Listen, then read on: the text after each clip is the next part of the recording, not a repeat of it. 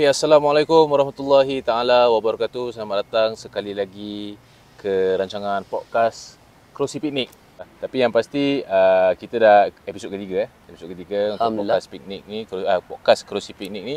Dan alhamdulillah terima kasih kepada ejen Fahran Passion yang sudi berduduk di sebelah saya menemani saya dengan uh, kata orang tu bercerita tentang topik-topik hangat yang berada dan juga terjadi di Singapura ya kita Insya merupakan orang Singapura ya. Yes. Okey, uh. sebenarnya hari ini kita ada special sikit nah, okay. yang kita nak buat. Sebelum kita teruskan kepada topik kita yang kita nak berbual ni, hmm. aku nak kau uh, tengok dan baca komen-komen salah satu video kita yang berada dalam TikTok yang viewersnya telah mencecah 11k. Okey, Farhan terus kepada TikTok account saya dan aku nak kau baca komen satu-satu dan kau bagi pandangan kau satu-satu punya komen. Kau baca kuat-kuat. Komen dari? Komen daripada Katipung. Katipung. Apa dia, Kak? Uh, terjun pasal perempuan. Takkanlah, bro. Sorry. yeah. Apa apa pandangan kau tentang demi komen ni? Terjun pasal perempuan. Ada betul juga. Hmm. Pasal kalau kita terjun macam gitu, pasal dia kalau perempuan tu dah macam gitu, memang tak worth lah. Kita so. buat benda yang bukan-bukan lah kan. Hmm. Uh. Tapi bagi aku, uh, ni masing-masing lah. Mungkin dia penakut sebab tu tak terjun. Ataupun dia tak ada bola. Uh, okay, next. Okay, tepuk tangan je bang. Dunia memang tak adil. Ini macam aku memang sokong. Pasal kalau hmm. kau cakap semua dunia adil, memang kau play a victim card lah kan. Betul. Uh, so, yalah, kita just ikut gelombang yang baik lah kan. Betul, betul, betul. Apa hmm. dia cakap pun betul juga. Dunia ni memang tak adil lah. Uh, tapi aku rasa dia lebih kepada dah bersara kot. Ada cana. Okay, next comment. Nama daripada Mushroom. Salam bro, tepuk sebelah tangan tak berbunyi. Kalau dia benarkan sayang kita, dia tak akan buat sedemikian. Hmm. Kalau dah terjadi macam ni, tak payah balas. Karma is real. Move on, keluar dari relationship itu. Okay, ni pandangan kau macam mana? Ayam pun cakap betul loh. uh, aku agree dengan brother ni. Uh, the best is untuk keluar daripada daripada hubungan ni. Kan, tapi bukan senang. Uh, but insyaAllah kalau dapat keluar, uh, itu jalan yang terbaik lah. Hmm. Hmm. Aku pun setuju juga dengan brother ni. Mushroom, uh, mushroom. Uh, mushroom. Mushroom, uh. kau rasa perempuan lagi? Aku belum tengok lagi. Nampak macam kat belakang dia, dia orang dia suka greenery. Greenery eh. Macam kita sekarang enggak? Ha, memang kita lelaki banyak suka yang kehijauan-kehijauan lah. Uh-uh. Ha, tapi aku pun setuju jugalah dengan si mushroom ni apa yang dia cakap. Okay, ada lagi tak komen? Apusan. Apusan. Kau punya turn lah panjat C2B. Oh, ini oh. violent je. Oh, ini boleh tahu. Ini confirm marip ni. Ini jangan sembarang ni. Confirm kalau cakap jadi. uh, cara dia komen boleh tahu. Uh, lepas tu dengan emoji ketawa-ketawa-ketawa. Hmm, uh, jadi saya nak ucapkan terima kasih lah kepada mereka yang sudi tengok salah satu video konten kita yang telah pun mencecah 11K. Uh, dan saya pasti memang topik ataupun soalan yang saya utarakan tu memang kata orang tu panas punya topik lah. Kan? Memang Macam biasanya... Ha? Macam sekarang panas juga. Biasanya macam kita uh, benda-benda gini memang agak sensitif lah. Okay Fan, apa kata kita teruskan dengan uh, episod untuk hari ini. Uh, merupakan uh, topik yang kita akan berbincangkan pada hari ini. Tak adalah panas seperti topik yang kemarin. Cuma tempat ni je panas. Tapi topik uh, untuk uh, kali ini kita nak berbual tentang yalah isu-isu kata orang tu perkara-perkara yang merisaukan kita anak-anak muda zaman sekarang ni. Iaitu adalah topiknya gangsterism. Boleh share sikit tak uh, Agent Farhan tentang gangsterism? Adakah dulu anda pun seperti uh, marip-marip? Macam mana Uh, so far Alhamdulillah Siapa yang kenal saya Saya ni orang baik. Tapi Alhamdulillah. Baik.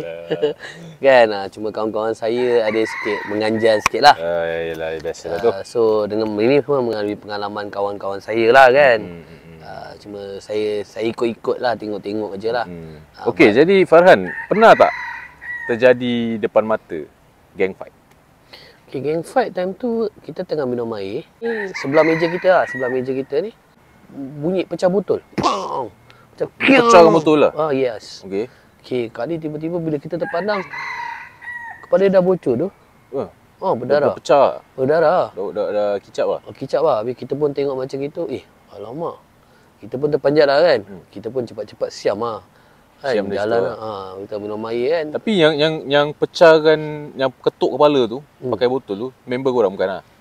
Ha, itu aku tak kenal. Tak kenal. Habis yang kena tu? Pun tak kenal. Duduk, kita tengah duduk minum air. Sekali tiba-tiba gaduh kat situ. Oh, kira korang kau dengan member-member kau je lah macam setakat datang Ah duduk, datang minum air, lah, ah, makan. air. Lepas tu pasal kita dah di tempat lain, kita, kita dah keluar jalan, kita dah duduk sana, makan. Oh, Kali pecah uh, uh, benda tu terjadi kat situ. Kita pun terpanjat lah. terkejut lah. Ha, terkejut lah. Baik-baik kita ingat kita ni gangster kan. Cukup time oh, pelik pun naik kan tengok macam gitu kan. Ha. Tu kita Kesian jalan lah lah. daripada tempat tu pasal kita pun tak nak tak nak ada apa-apa hal apa. Hmm, hmm, hmm, Tapi lepas tu jadi kes polis. Atau tak tahu pasal apa kita dah jalan daripada tu ada chance jadi polis lah pasal dah dah, dah berdarah tu. Dah bocor lah. Mesti kena pergi hospital. Ya, Melainkan kalau dia ada hospital sendiri kan boleh jahit sendiri kan.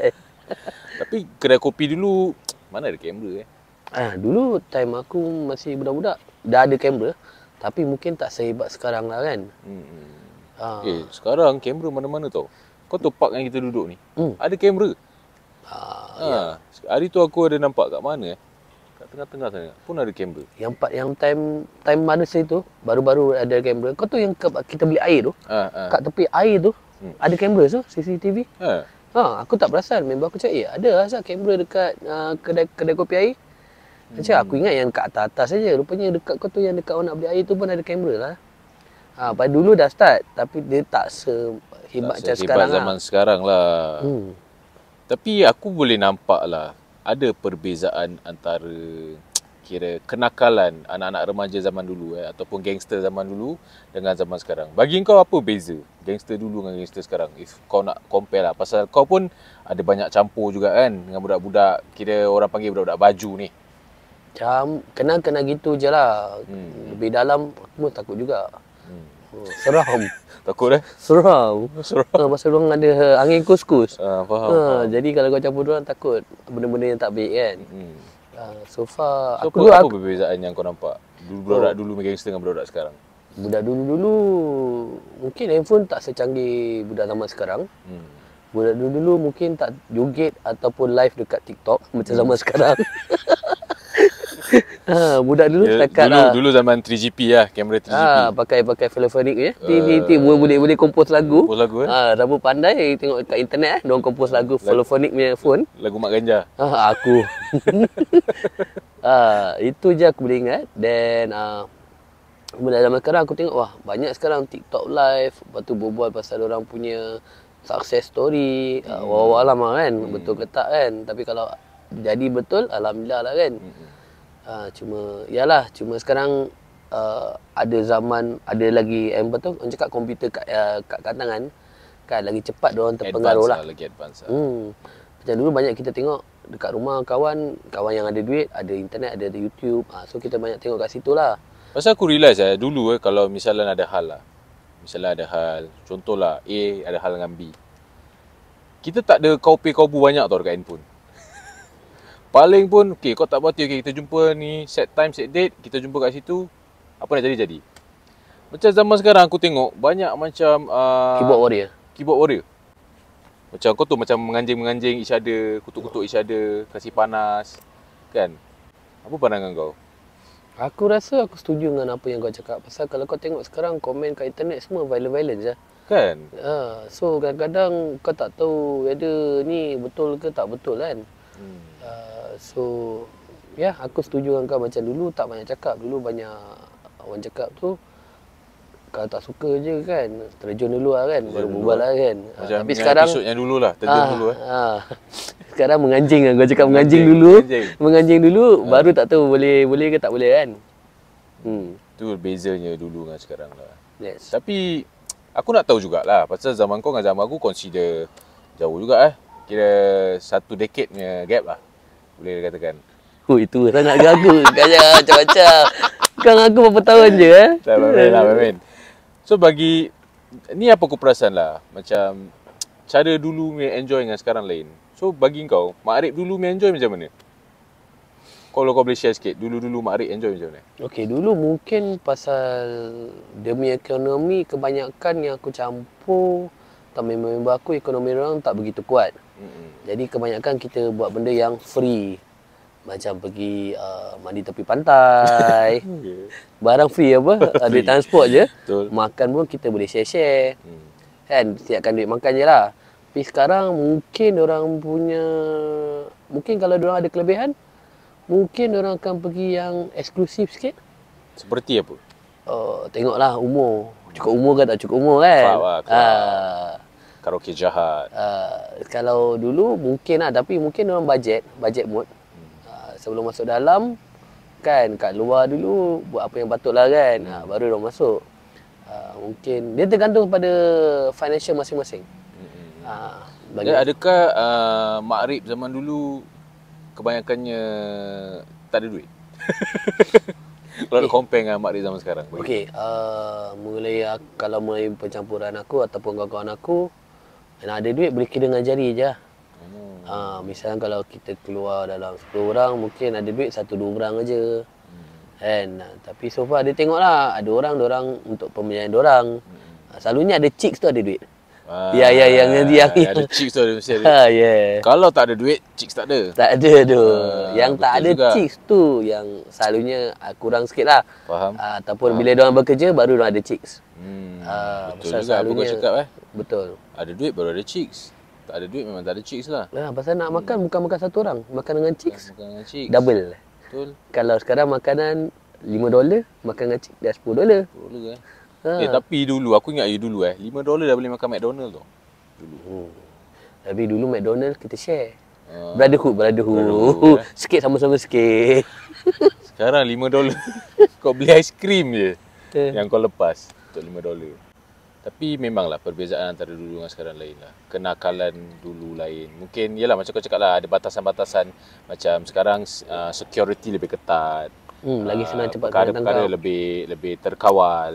Macam dulu kuranglah kawalan dia lah. Okay, memang topik hari ni memang aku sangat suka sebab uh, merupakan topik Uh, mengimbas kembali Mengimbas kenangan kembali. dari kenangan kau ke? Bukan, bukan, bukan. Bukan, bukan. bukan. Dia mengimbas kembali nostalgia Oh. waktu kita membesar. Oh, Uh, okey. Saya pun bukan gangster, saya setakat ikut-ikut je. Uh, tengok-tengok kawan-kawan kan, main gangster-gangster ni semua. Tapi uh, ini merupakan segmen pertama. InsyaAllah kita akan continue uh, topik yang sama untuk segmen yang ketiga. Uh, Eh, ketiga ke dua? Ketiga. Oh, Uh, ketiga. Untuk segmen kedua kita akan berbual tentang perumahan kerana di sebelah saya merupakan ejen Farhan, ejen hartanah rumah. Okey, kita akan berjumpa di segmen kedua.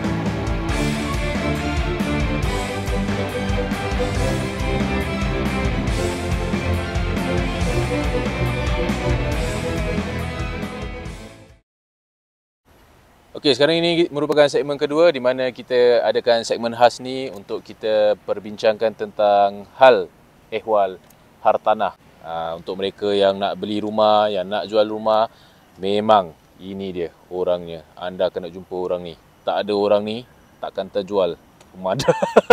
InsyaAllah. InsyaAllah. Ya, betul. Uh, so far, Ejen Farhan apa yang saya tahu telah berkhidmat dalam uh, industri hartanah ni dah bertahun juga eh. Dah berapa tahun Farhan? Mungkin dalam sekarang 13 tahun, 14 tahun. 13 tahun. Kalau tak korang kata tak cukup pengalaman tu memang aku tak tahu nak cakap apa. Saya ada soalan untuk uh, Ejen Farhan eh. Sekarang ni susah ke nak beli rumah without COV? Pasal aku dengar-dengar ada sekali viewing sampai 10 grup. Itu dah bukan viewing tu aku rasa. Tu dah macam dah macam apa nak cakap eh? Open house ke? Orang tu nak jual rumah ke apa tu? Cuba kau explain sikit. Okay, memang harga pasaran sekarang tengah panas. Uh, especially uh, certain area. Okay. Macam Woodland, Tampines, uh, Pasir Ris. Dengan rumah-rumah yang uh, luar biasa lah. Okay. Macam rumah luar biasa tu adalah macam rumah EM, rumah EA. Mm-mm. So this kind of houses memang the demand is there. I see. Uh, so as long as the demand is there, harga akan tetap naik lah untuk rumah-rumah macam gini lah. Uh, seperti 3 bilik, 4 bilik, uh, 5 bilik. Senang kata uh, banyak-banyak type lah. Uh, semua tergantung pada daerah tu. Kan demand dia sekarang tengah tinggi. Hmm. Uh, so memang banyak lah baru-baru ni pun banyak juga aku bawa buyer. Aku have been serving uh, buyer juga. Kemar, especially kat Woodland, Tampines, Pasir Ris. Kan uh, memang Paling hot banyak lah semua. buyer yang kau bawa untuk satu rumah berapa ramai? Okey, yang ba- yang paling banyak kali dah on average kalau rumah tu macam daerah Woodland mungkin ada dalam 10 ke 20 group of buyers. Satu rumah? Ah, so ada within that 2 jam 3 jam. Hmm. Ah, then offers pun Penat baik. mungkin dalam 3 ke 7. Dia depending lah berapa berapa tinggi owner tu minta. Tapi uh, viewing ni tak confirm close deal kan? Tak, okey. Pasal aku pernah yang temp okey, for example yang kita ambil yang Tampines yang baru-baru aku baru jual juga alhamdulillah. Ah, dalam dalam satu viewing aku buat dalam 10. So far dah masuk 3 ke 4 ming, 3 minggu aku buat on average orang datang daripada 5 ke 10 viewers. Hmm. Tapi cuma dapat 3 je uh, interested party. So maknanya dalam 30 30 buyers yang tengok rumah tu cuma dapat 3 je. Ha, because of dia punya harga dia. Okay, for example yang rumah yang aku ni, ha, bagi aku share sikit. Rumah aku market ni 4 bilik dekat Tampines Central. Okay. 55 522A. Lima dulu eh. Kau cuba tega harga 4 bilik dia berapa tu? 400? 700. 5, aku buka 760 ribu. 760 ribu eh. Yes. Tu pun ada orang offer. 4 bilik. 4 bilik. Tak Ah, masuk akal. Tak. Tapi kau tahu viewer sampai nak masuk 30 orang tu. So maknanya the, the demand is still there. But tak semua yang berani bagi that kind of offer. Okay. Uh, memang orang Singapura ni terlalu ramai ke yang nak beli rumah? Kalau ikut daripada kota, mesti ada lah. Memang terlalu ramai lah. Yes, pasal because of rumah... Okay, dia pasal because of dia punya... Orang baru nak kahwin ni, kalau kau tengok memang banyak lah tiap-tiap tahun at least berapa puluh ribu akan beli rumah. Orang yang berumah tangga ni. Yes, tahu. berumah tangga. Selalunya pasal apa, orang nak ada this kind of macam... Tempat sendiri. Hmm. Ha, pasal dah ada rumah kan, dah ada pasangan. So, diorang nak ada rumah Privacy. privacy sendiri. Uh, uh, Tu yang selalunya diorang kalau selalunya diorang tak dapat rumah BTO ataupun tak boleh tunggu rumah BTO, diorang akan masuk rumah harga pasaran terbuka. Okey, apa solusi bagi masalah ni? Kerana buyer semakin ramai. Rumah pun uh, semakin sikit. tak tahu betul ke tak eh? rumah ni semakin sikit ke atau memang ada? Rumah ada tapi tak banyak. Tak banyak lah. Hmm. Tapi buyer semakin ramai. Buyers memang ramai sekarang. Hmm, okey. Jadi apa solution dia? Okey, solution dia dia tergantung pada individual. Uh, tengok kalau dah tahu nak kahwin dalam masa setahun, Dah tahu gatal nak kahwin. ah dah tahu nak berumah tangga, Uh, okey, uh, plan kewangan dulu. Uh, plan rumah dulu. Especially kalau nak masuk tunang 2 3 tahun, uh, itu sebaiknya syorkan apply BTO dulu. Okey, memandangkan sekarang ni terlalu banyak sangat buyer. Kan? Hmm. Cara apa yang terbaik untuk seller buat? Okey, kalau sebagai seorang penjual, nak tahu juga matlamat orang jual aja ataupun jual dengan beli ataupun right size. Uh, so apa orang punya apa tu rancangan lah. So daripada rancangan tu kita tengok kita akan buat uh, so called planning lah iaitu timeline dengan perkiraan. So kalau everything okay boleh teruskan lah. Selalunya kalau orang-orang yang dah betul orang yang tua dia nak jual rumah, selalunya dia nak right size lah. Pasal rumah dah terlalu besar. Dia dah penat untuk mengemas rumah. Especially orang yang pegang kepada EM, executive mansionette yang turun naik ataupun executive apartment yang besar ataupun jumbo. So by the time bila anak-anak dah besar selalunya dia akan right size dan daripada penjualan rumah tu dia ada sikit cash untuk dia punya hari persaraan. Hmm. Dan untuk orang yang apa tu muda pula kalau dia nak jual rumah kemungkinannya dia akan right uh, upsize lah. Ha, pun panggil right size juga upsize to bigger house. Dia nak kena tengok whether dia mampu tak untuk bayar dia punya bulan-bulan lah. Hmm. hmm. Ha, then kalau orang daripada rumah besar, mungkin orang boleh minta harga lebih tinggi sikit. Kan since there is a demand, boleh minta lebih tinggi sikit dan habis tu monitor market macam mana. Pada masa sama nak tahu juga rumah yang orang beli tu harga dia lebih lebih mahal sikit daripada apa yang orang nak jual sekarang ke atau macam mana. Ha, so ni the best untuk jumpa untuk bincangkan orang punya planning. Ha, tapi sebelum jumpa uh, ejen rumah ke apa-apa, mereka mesti tahu apa yang diorang nak. Ha, then diorang uh, telefon lah ejen rumah. Kalau orang tak tahu, telefon saya. Ha, ejen Farhan berbual, tanya apa diorang punya rancangan. Diorang nak rice size, okey nak rice size, bila. Diorang pun ada diorang punya timeline lah. Betul. Itu semua perlu crucial planning lah. Setiap perkara tu boleh diselesaikan. Dan setiap perkara kita harus plan.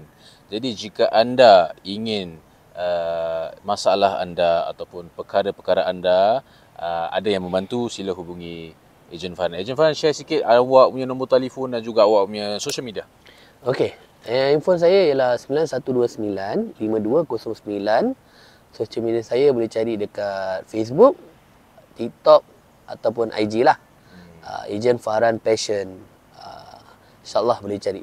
Daripada ERA eh. ERA. Okey, jangan lupa tau untuk kontak Ejen Farhan dan uh, sekarang ini segmen kedua kita dah habis, kita akan jumpa anda di segmen yang ketiga. Assalamualaikum.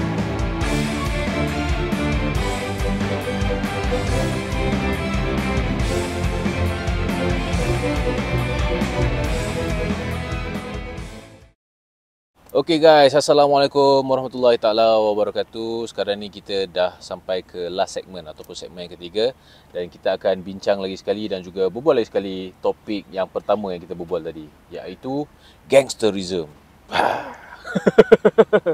Okey, kita teruskan dengan soalan. Uh, empat soalan akhir untuk topik hari ini iaitu gangsterism. Kau rasa macam mana budak-budak ni boleh terjebak dalam gangsterism? Apa yang boleh mendorong mereka ke sana? Okay, salah satu is maybe because kalau kita tengokkan balik uh, house gangster uh, uh, form is orang ambil orang-orang yang selalu kesunyian ataupun orang punya brotherhood yang kuat lah. Hmm, kesunyian eh maksudnya uh, mereka mere- budak-budak yang mungkin ada masalah di rumah Kurang kasih sayang. kurang kasih sayang. Ha, for example sekarang okay, kalau kita tengok sekarang orang uh, ke, ada juga ibu bapa yang uh, bertunggul lumus kerja pagi dengan malam uh, anak-anak orang. Hmm. Uh, so orang tak dapat daripada mana ada perhatian, orang uh, divert kepada keluar lah. Hmm. Uh, which is kawan-kawan orang. Itu yang hari-hari lepak mak bapak tak ada kat rumah, hari-hari lepak dengan members. Hmm. Tak tahu nak buat apa, buat benda yang bukan-bukan lah. Betul. Okey, zaman kau eh, zaman kau. Macam mana gangster settle problem? Uh, berbual, duduk, minum kopi, uh, uh, fight one-on-one atau terjun dulu, baru berbual? Ha, macam mana? Aku tak tahu eh zaman gangster. Okey, zaman gangster Zaman gangster dululah. dulu eh. Ha. Apa yang aku nampak member-member aku orang selalu kalau macam tak puas hati, uh, yalah selalu kalau tengok bawah orang akan berbual dulu kalau boleh berbual. Kalau tak gaduh dulu baru berbual. Hmm. Terjun dulu. Ha, terjun dulu. So dia tergantung pada keadaan. Hmm. Uh, so tengoklah macam dulu punya lagi aku rasa lagi fierce kot. Uh, masuk kalau kau datang satu tempat ni kalau kau bukan orang daerah sana for example macam tempat-tempat lama kan uh, kau tengok kau datang je orang akan diri tengok eh siapa tu uh, so ada satu tempat yang kau masuk akan jadi macam gitulah especially Hmm. kedai-kedai kopi, Kedai kopi. malam-malam lah selalunya Hmm. uh, so macam sekarang aku feel that uh, zaman dah banyak berubah Ya. Yelah macam yelah banyak kamera apa semua kan. Yes, betul. Berubah. Lagipun sekarang banyak gaduh kat gaduh-gaduh ni. Type dulu. Type dulu, TikTok dulu, gaduh, uh, semua keyboard buat, warrior. buat, buat video dulu baru gaduh. Okey. Ada satu soalan lagi. Makrib zaman dulu, macam mana orang try chicks? Macam mana? Ah. eh, jangan cuba ni eh. Pasal yang aku tahu lah budak zaman sekarang kalau nak try chicks, diorang DM Ha. ataupun diorang uh, WhatsApp, WhatsApp group. Okay, Macam dulu, mana ada WhatsApp group, mana ada Instagram. Ha, mana ada live TikTok. So marik-marik zaman dulu macam orang try chicks? Okay lah, ni apa yang member aku uh, share dengan aku. Ha, Okay. Sebagai orang Islam, kena kena kita kena buat apa? bagi salam. Ha. Okey. Dia macam ni. Assalamualaikum. Salam. Ha. Kalau dia jawab, Alhamdulillah. Ha. Ha. Kalau dia sombong, Assalamualaikum. Tak jawab, dosa. Kalau jawab, gatal. Kira maksudnya marik zaman dulu kalau nampak perempuan bagi salam. Hmm. Kalau tak jawab, Walaupun tattoo satu badan orang bagi salam. bagi salam juga. Bagi. Tetap bagi salam. Bagi. Pasal Ah. nak tengok whether orang Islam ke tak orang Islam dulu. Oh. Ah. Jadi kalau perempuan tu tak jawab, maknanya perempuan tu dosa lah tak jawab. Ha, kalau dia Islam dia tak jawab dia dosa. Pasal bagi salam itu kira kan sunat. Ha. Jawab menjawab salam ialah Wajib. wajib. Tapi kalau dia jawab, maknanya dia gatal. Ha. so ni awak panggil apa? Reverse psychology. Ah, tu- Tanah-tanah ni. Faham? Ha. Kira tu cara diorang nak try lah. Ada Ah, can lah. Kalau jawab ni ada can ni. Ha. Tak jawab kira, ah, tak apalah. Ha. Macam tu lah. Dia kalau ada yang agresif, orang akan try lagi. Itu je. Kan? Ha, okey, baru okey, lah. okey, Pandai-pandai lah kan. Okey. Yeah, Okey, itu makrib zaman dulu lah. Hmm. Okay, actually bila nak cakap pasal makrib, uh, seks uh, rambang ataupun dadah ni sebenarnya merupakan topik-topik yang sangat bagus untuk kita bincangkan. Uh, kerana benda ni adalah perkara-perkara yang harus kita risaukan. Betul. Uh, jadi insyaAllah uh, untuk episod yang seterusnya mungkin kita akan berbual tentang drugs. Uh, macam mana zaman-zaman dulu eh pengalaman kau yang pernah nampak teman-teman yang ambil drugs ke ataupun teman-teman yang yalah merosakkan diri orang dengan uh, terjerumus kepada seks rambang ni semualah. Uh, apa nasihat kau untuk budak-budak yang terjebak dalam gangsterism ni? Satu is kau nak kena keluar daripada kau punya circle of clique. Pasal because kalau kau masih campur is kau you you are who you mix with lah. Uh, so perangai kau akan sama macam orang. Uh, so kalau kau nak lebih baik memang kau nak tukar kehidupan baru, tukar kawan. Hmm, Uh, maksudnya tukar environment. kawan-kawan tu sebenarnya main peranan lah untuk masa depan kita. Yes, betul. Dia akan menentukan selalunya dia akan menentukan whether kau okey tak okey. Uh, Aku percaya apa yang kau cakap tu, aku setuju kerana yalah, influence keliling tu sangat main peranan. Uh, sebab yalah Nabi Muhammad SAW pun pernah berkata eh, kalau kita campur dengan orang yang berwangi, dia berwangi lah. betul. Uh, kalau kita campur dengan yang sebaliknya, dia sebaliknya lah. Betul. Okay, apa-apa pun saya nak ucapkan terima kasih kepada Ejen Farhan kerana sudi berkongsi dengan saya pengalaman anda uh, sebab kita semua pernah berada dalam fasa remaja dan pernah nakal juga. Macam saya pun ada cerita saya, Farhan pun ada cerita Farhan tentang uh, waktu-waktu nakal Farhan eh. Kalau korang nak tahu cerita dia, korang boleh DM. Special request. Tak ada. Ini cerita dia, tak ada mana cerita saya. Ah, Okay, sehingga kita jumpa lagi. Apa? Uh, terima kasih banyak-banyak kerana menonton. InsyaAllah kita jumpa di episod akan datang. Ya, insyaAllah. Sehingga kita jumpa lagi. Assalamualaikum.